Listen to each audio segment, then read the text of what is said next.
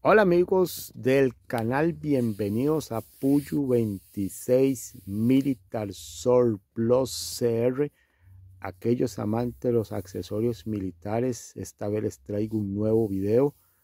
No me he perdido en el limbo, aquí estoy. Sigo este, actualizando videos y esta vez les quise traer estas dos piezas de colección. Dos chamarras. Eh, una en camuflaje woodland y la otra en verde olivo. Estas son piezas baluartes que se usaron en la guerra de Vietnam y lo puedo decir con mucha categoría y con mucha eh, sinceridad. Eh, aquí yo no tengo ninguna copia, aquí no tengo nada que no sea de la era de Vietnam. Son piezas originales.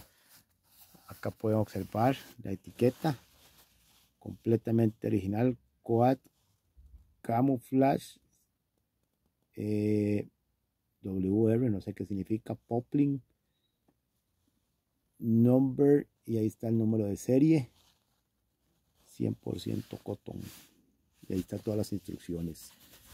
Está tan deteriorada que vea cómo está la etiqueta. Todavía la sigo conservando. Esta es una pieza que yo la tengo prácticamente en, en el museo ahí la tengo guardada es un camuflaje que se utilizó en la guerra de Vietnam. Este camuflaje no es el tradicional eh, camuflaje woodland. Eh, pero ese padre tengo una pieza por ahí para ver como esa pieza. Como ese camuflaje. Ese es el tradicional woodland moderno. Y este es un camuflaje totalmente diferente en el aspecto de camuflaje. Las bolsitas completamente originales con sus botones. Es una pieza que está conservada. Ahí pueden observar la otra etiqueta. La etiqueta de, de talla Small Regular. Y ahí trae unos números que la verdad no sé. Me imagino que es el, la hechura, la talla, el largo y demás. Esta es la tradicional chamarra Woodland, completamente original, un baluarte de la historia de la guerra de Vietnam. Y esta verde olivo también es completamente original, ya que no les miento. Aquí está la etiqueta que hace constar que estas piezas son originales. Ponga cuidado. Coatsman eh, Wind Resisted Ripstop secado rápido. Poplin, Olive Green, Army, Shake, no sé qué, class número uno. Ahí está la fecha de esta chamarra. Del 70. Completamente original. Esto es un baluarte, es una pieza de colección.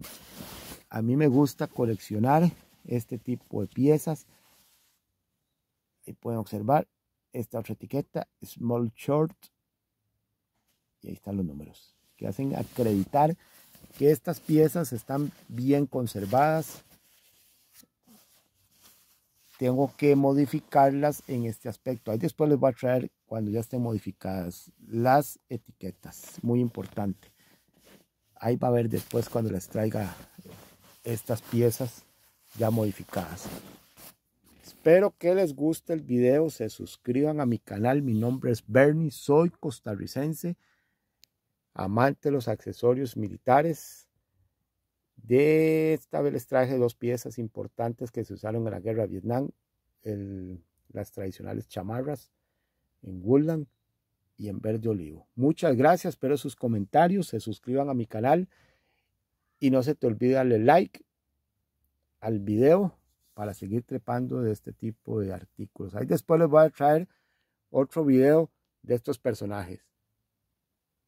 El verde olivo y el tormenta del desierto.